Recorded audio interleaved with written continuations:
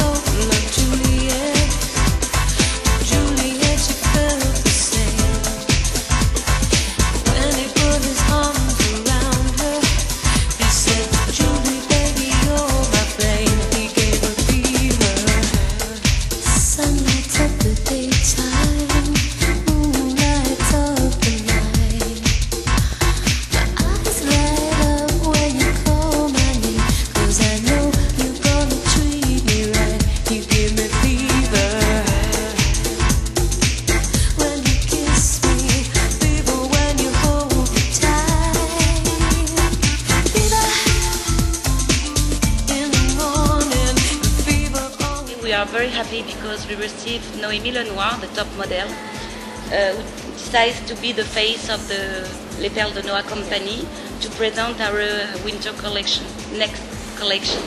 And we are very happy to to see Fashion TV and to work also with Francis Denis, who is very famous in France.